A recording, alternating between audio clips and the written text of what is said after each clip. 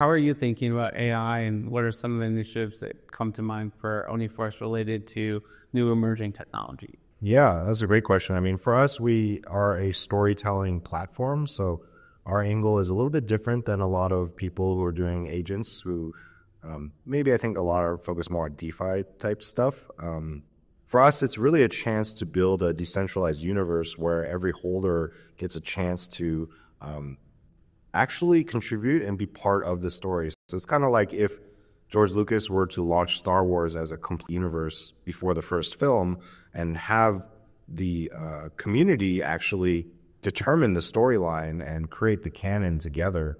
So right now we're getting ready to launch our AI agent uh, platform where everybody will get a chance to build their characters, um, create storylines, and then be entered into the actual canon and lore, which will give them a chance to have their stories highlighted in our comic books, our webtoons, that sort of stuff. So um, for us, it's really a tool that we've been waiting for to be able to scale our uh, storytelling.